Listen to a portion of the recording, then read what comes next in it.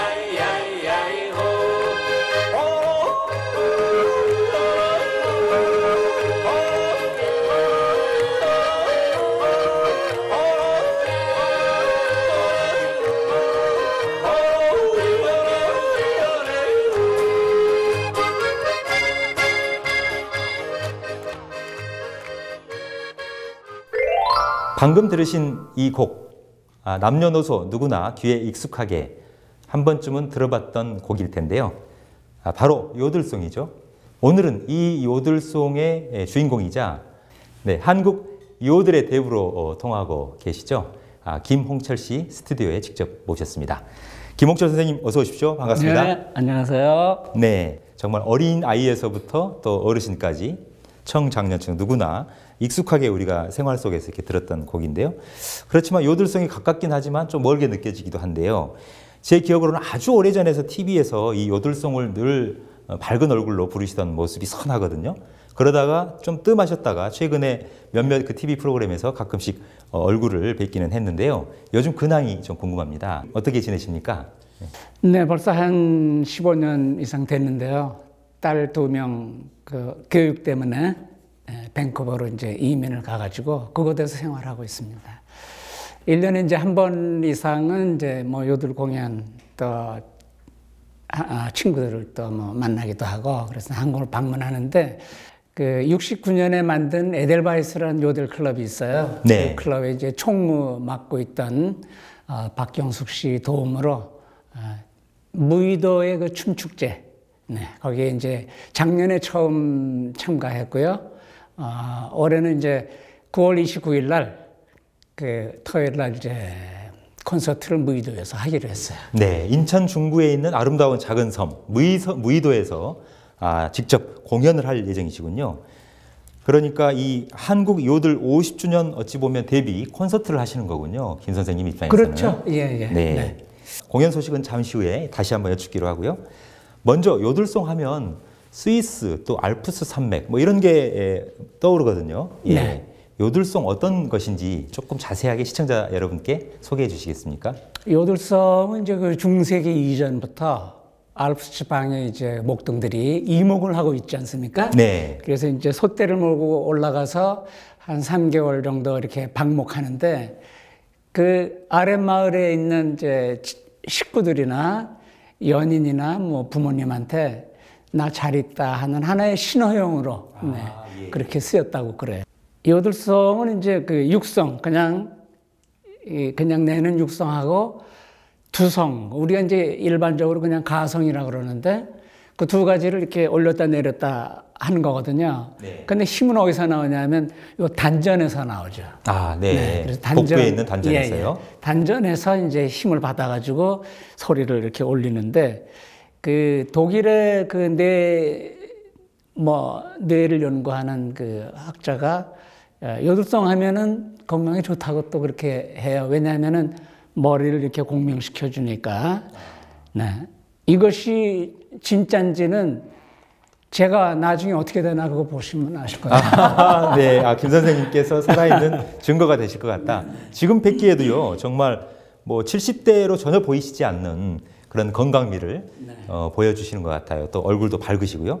요들이 건강에도 좋다. 오늘 저는 처음 알게 된 것 같은데요. 선생님을 오늘 뵈니까 정말 요들이 건강에 좋을 것 같다 이런 생각이 척 듭니다. 예. 이 건강에도 좋은 요들. 그런데 어떻게 처음 이 요들을 접하게 되셨는지도 궁금합니다. 어, 제가 중학교 때 길거리 가다가 이렇게 들었어요.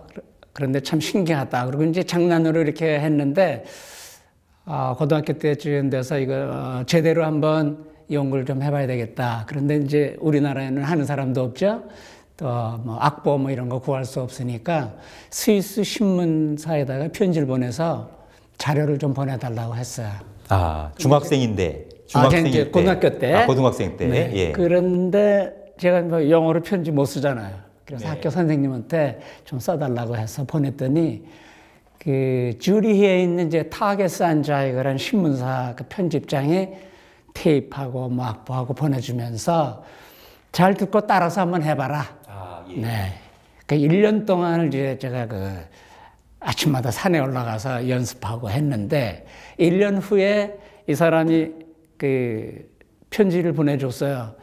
너 1년 전에 보냈는데 어떻게 됐느냐? 한번 네 목소리 녹음해서 보내주면 전문가가 듣고 틀린 걸 고쳐주겠다. 그래서 이제 녹음기를 또 빌려가지고 이렇게 이제 기타를 치면서 보냈더니 그게 굉장히 그 자기들한테는 신기했던 것 같아요. 네. 어, 동양의 그 먼그 코리아란 데서 학생이 어떻게 자기 나라의 그 방언을 섞어서 그렇게 요들을 할수 있느냐. 이제 이것이 이제 그, 그 사람들이 이제 이 초청을 한번 해야 되겠다 하는 그 계기가 된 거죠. 네. 아, 그래서 직접 이제 스위스 현지까지 네. 초청을 받아서 가시게 된 거군요. 네네. 네, 그때가 고등학생 신분이셨나요? 고등학교 졸업하고요. 그래서 얼 며칠 정도 체제를 하셨었나요? 6개월 정도 있었어. 어, 그래서 이제 그 유명한 홀이나 이런 데에 공연도 이렇게 하게 되고 또 요들성 선생님도 소개해줘서 요들성도 제대로 할 수 있도록 배우고 그 많은 이제 사람들이 이제 합창하는 데서 이 합창을 어떻게 하는 건가 그것도 좀 그 보게 해주고 낮에는 관광도 시켜주고 네. 네, 그래서 그 요들성이라는 것이 아 이런 거구나. 그냥 그 테이프나 이거 듣는 것보다 산에서 정말 그 소리를 이렇게 질렀을 때 아 이런 것이 바로 그 요들이라는 거구나 하는 것을 직접 느꼈죠. 아, 그 맛을 직접 예. 네, 배우고 또 깨닫게 되셨군요. 네. 네. 그 시기가 그러니까 60년대 한 중반이 된 68년이에요. 아, 68년이군요. 네. 예. 그래서 금년이 50 년 50주년 되는 해입니다. 네, 아 정말 신기하기도 하고요, 대단합니다. 이 학창 시절에 순수한 열정 하나 또 호기심 하나로 받- 보냈던 편지가 어찌 보면 김홍철 선생님 인생에 있어서는 엄청난 변화를 주는 이 전환점이 됐다고 그렇다고 봐야겠군요. 볼수 있죠. 네, 그렇게 하고 이제 국내에 다시 들어오셔서 70년대 본격적으로 요들송 그 그룹을 네. 결성을 하시고 많은 활약을 하셨던 걸로 그렇게 알고 있는데요. 스위스에 다녀왔던 게 큰 그 밑거름이 되셨겠군요. 당연하죠. 아, 그 당시에 이제 그, 그 TV, TBC라는 게 있었어요. 그때. 네, 동양방송 네? 동양방송국. 네. 그 아침 무슨 아침 뭐 모닝 쇼라는 게 있었는데 그 초대를 받아서 노래하기 시작한 것이 그렇게 하다가 뭐 방송에 출연하고 나도 모르게 가수가 된 거죠. 네. 그래서 뭐 방송을 굉장히 많이 출연하셨겠군요. 그 당시에 많이 했어요. 예. 초청을 많이 받았고 네. 신기하니까요. 신기해서 네. 네, 전혀 새로운 어떤 장르이기도 하고요. 네, 그 당시에는 이제 그 미국 문화, 네. 그 이제 미국 문화가 많이 들어와 있을 때고 유럽 문화라는 것이 거의 뭐 없었을 때니까 알프스 우리가 그 동경하던 그렇죠, 스위스의 알프스 지방의 정말 동화 그- 같은 네, 그림이 그려지는데요. 예. 그쪽 노래구나. 그래서 이제 사람들이 이걸 어떻게 하면 좀 나도 이거 좀 배울 수 없느냐 이렇게 이제 문의가 많이 와가지고요. 네. 그래서 이제 클럽을 만들어서 좀 가르치고 또 같이 노래할 수 있는 이런 기회를 많이 마련했죠. 그 시기가 때마침 우리가 그 뭐 남녀노소 누구든지 한 번쯤 봤던 유명한 영화 Sound of Music이 또 개봉해서 예. 폭발적인 인기를 끌었던 시기하고 그렇죠. 맞물려 떨어지는 거 아닌가요? 예, 예. 그게 이제 배경이 잘츠부르크거든요. 네. 그 이제 오스트리아의 그 알프스 자락의 그 이야기니까 그게 이제 이렇게 뭐 맞물려서 아 저건 나 요들송도 좀 배워야 되겠다 이런 사람들이 많았어요. 네, 그래서 그 당시에 이제 요들 클럽을 결성하신 거죠. 네네. 예, 이름이 어떻게 됩니까? 처음에 이제 그 꽃 이름으로 했어요. 에델바이스. 그 다음에 이제 Alpenrose, 이제 알프스의 장미라는 거죠. 그 다음에 이제 Enzian, Enzian은 그 보랏빛 뭐 조그만 꽃인데 아주 이뻐요. 그래서 그런 꽃 이름을 중심으로 해서 클럽을 만들었죠. 전국에 그 한 3년 안에 10개 정도의 클럽을 만들었어요. 인천에도 있고. 아, 예, 예. 인천에도 있었군요. 있어요. 네. 정말 그 시절만 하더라도 폭발적인 인기를 끌었던 네, 어떤 상황이군요. 굉장히 스케줄이 바쁘셨겠습니다. 그 당시에. 그 주로 이제 강습을 많이 했어요. 강습을. 네. 이- 이렇게 좋은 노래를 뭐 옛날에 우리나라 그 도자기 만들 때 나만 알고 이렇게 하다가 그냥 어떻게 만드는지 모르게 됐잖아요. 그이 좋은 노래를 나 혼자 할 게 아니라 기왕이면 많은 사람들이 이렇게 불렀으면 네, 좋겠다. 공유를 하고 보급을 네, 하자. 그렇죠. 네. 네. 그래서 이제 주로 강습을 많이 다녔어요. 그런가 하면 1968년 이 대한민국에 최초로 요들송을 전파하신 것 이외에도 네. 시초 또는 최초 이런 수식어가 붙는 기록들이 좀 많이 있다고 들었는데요. 예. 네. 어떤 귀걸이, 내용들인지 귀걸이 지금 네네. 제가 하고 나왔는데 왼쪽에 귀걸이를 네네. 하셨군요. 예. 그 당시에 이제 TV 출연할 때 귀걸이를 했어요. 하고 나왔더니 그때 이제 박정희 대통령 시대 때인데 문 공부를 해서 그 방송국으로 여- 이 공문이 내려왔어요. 남자가 무슨 귀걸이냐. 아, 이게 풍기문란 아니냐? 네, 말하자면 이제 그런 거죠. 네. 그래가지고 못했죠. 우리나라에서 아마 남자 귀걸이는 최초가 최초시군요. 아닌가. 네. 네. 아, 또 최초의 어떤 수식어가 달린 사례를 든다면 어떤 게 있습니까? 그 비행기 타고 올 때 그 기장이 여기 자 한국에서 온 그 요두라는 사람이 있는데 노래 한번 들어보자. 아, 비행기 안에서요? 비행기 안에서. 네. 네. 그, 그때 이제 스위스 에어였는데 그래서 또 요들송 한번 했죠. 공중에서 노래한 거 하면 그때 처음이 아니가 68년이니까. 하늘을 날아가는 비행기 안에서 네. 요들송을 직접 예, 연주를 예. 하시고 부르셨군요. 참 재밌는 일하네요. 네, 네. 예.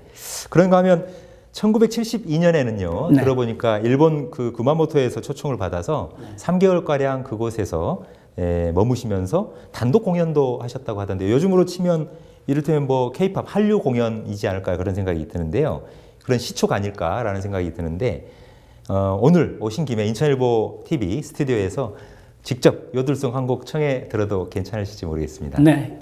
여행 보내드리겠습니다. 네, 한번 함께 들어보시죠.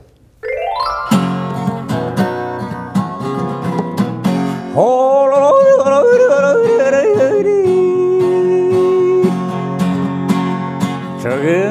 가방 둘러매고 집을 나서면 나 혼자서 신바람 나는 여행이라네. 콧노래를 부르며 떠나는 길이니 외로움쯤은 웃으면서 날릴 수 있지. 호라레 호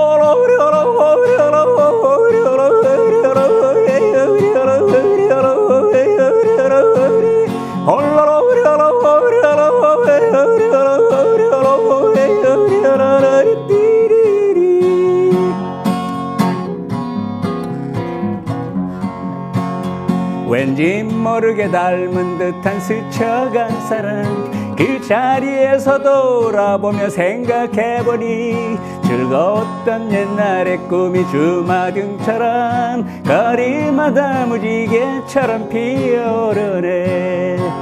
호라레 호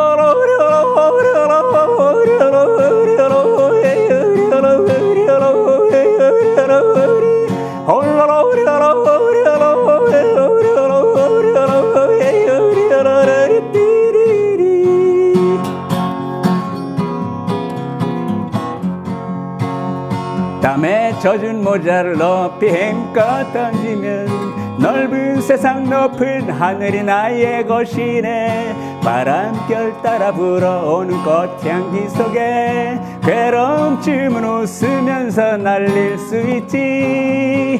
호라레 호로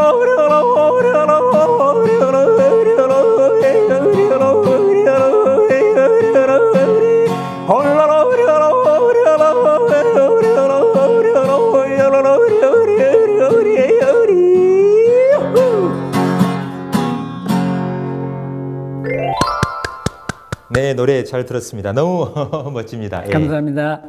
어, 마치 제가 마치 스위스 산골 마을을 직접 다녀온 듯한 그런 청량하고도 아름다운 음성의 목소리였습니다. 아, 처음 잠깐 언급이 있었습니다만 이 공연 소식 자세하게 한번 어, 말씀 들어보겠습니다. 오는 29일이죠. 인천 중구에 있는 어, 무의도에서 요들 50주년 콘서트를 하게 되셨다고요? 무의도가 섬이 조그맣지만 굉장히 아름답잖아요. 그렇죠. 예. 그래서 그 산도 있고 호륜곡산, 뭐 또 국사봉 이런 게 있고 바다도 있고 바다는 스위스로 치면은 예를 들어서 그 알프스 산과 호수로 이렇게 대체할 수 있을 것 같아요. 그 제가 그쪽에 가보고 굉장히 그 섬이 마음에 들어서 그쪽에서 50주년 그야말로 무료 공연 좀 해야 되겠다. 네, 그렇게 생각을 해서 이번 어, 9월 29일 날 그 공연을 하게 됐고요. 아, 이 공연에 또 어, 스위스 그 부대사도 오시고 또 스위스에서 우리나라에 많은 그 스위스 민속단을 끌고 왔던 이제 그런 분도 오시고 손님이 많이 오실 거예요. 우리나라의 그 fiddle, fiddler라고 그러면 아마 잘 모르실 거예요. 네, 좀 낯섭니다. 네네. 그러니까 예를 들어서 지붕 위에 바이올린, Fiddler on the Roof라고 그러잖아요. 그 fiddle은 바이올린을 뭐 클래식을 연주하는 거지만 민속 음악을 연주하는 걸 이제 fiddle이라고 그러죠. 그렇게 이제 그냥 일반적으로 그렇게 얘기하는데 우리나라 최초의 그 fiddler, 그 연세가 지금 뭐 83인데 그분을 모시고 정말 그 fiddle의 진수를 이번 무의도에서 보여드리도록 네 그렇게 제가 아주 각별히 부탁을 드려서 아, 한번 연주해 달라고 부탁을 드렸습니다. 아, 그렇군요. 네. 29일 몇 시? 저 정확하게 장소는 무의도 어디에서? 무의도 한악의 한악의 해수욕장이요. 네. 풍광이 아름답기로 네네. 유명한데요. 그러면 토요일이니까 9월 29일 토요일 어, 6시 오후 6시, 여섯 시, 네. 네. 저녁 6시에 예, 한악의 해수욕장 특설 무대에서 선을 보이시게 공연이. 끝나면 불꽃놀이도 할 아, 겁니다. 멋지겠는데요, 네. 정말. 요들 50주년 콘서트 정말 기대가 되는데요. 끝으로 이번 요들 인생 네. 아, 50주년을 앞둔 이 콘서트를 앞둔 음, 소감이랄까요? 여러 가지 소회가 있으실 것 같은데 한 말씀 해주시죠. 어떤 어떤 분야에서 사실 50년을 한다는 거는 참 쉽지 않은 일인데 또 많은 분들이 또 좋아하고 또 호응해줘서 지금까지 이렇게 50년을 끌어왔죠. 앞으로 75주년 뭐 제가 있을지 없을지 모르겠지만 아, 끝까지 이, 이 요들은 그 영혼의 소리라고 하죠. 우리에게 많은 그 감성적이고 정서적으로 좋은 노래니까 아, 잘 많이 감상하시고 그 이번 50주년 기, 그 기념 기념에 그 함께 이렇게 해주셨으면 좋겠습니다. 네. 오늘 이 방송을 보시는 많은 분들이 정말 관심을 갖고 참여하시지 않을까 이런 생각이 듭니다. 아, 바쁘신 중에도 오늘 귀한 시간 내주셔서 정말 감사하고요. 직접 또 스튜디오에서 노래까지 정말 잘 들었습니다. 말씀 고맙습니다. 감사합니다. 네, 지금까지 대한민국의 요들을 처음 도입해서 요들 대중화에 힘써온 예, 그래서 대한민국 요들의 대부로 불리죠. 김홍철 씨 초대해서 말씀 나눴는데요. 오는 29일 인천 중구 무의도 한악의 해수욕장에서 어, 요들 데뷔 50주년 콘서트를 여는 소식 그리고 그 이전에 있었던 많은 후일담과 역사, 배경 얘기 들어봤습니다.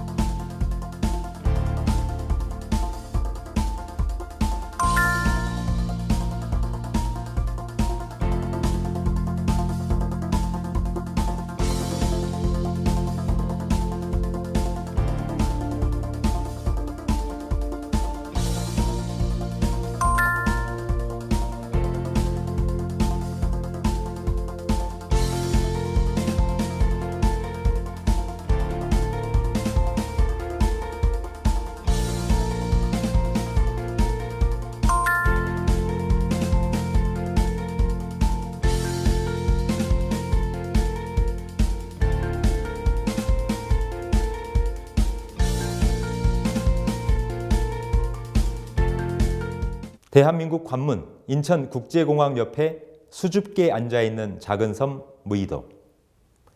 이번 주말 무이도에 전국의 요들러들이 모여듭니다. 환상적인 음률 잔치를 펼치기 위해서라고 하는데요. 손에 잡힐 듯 가까운 북녘 땅을 바라보면서 밤하늘에 뜬 수많은 별을 헤아려 보는 장이 되리라 기대됩니다. 오늘 인천일보 TV 뉴스는 여기까지입니다. 저는 내일 아침 돌아오겠습니다. 감사합니다.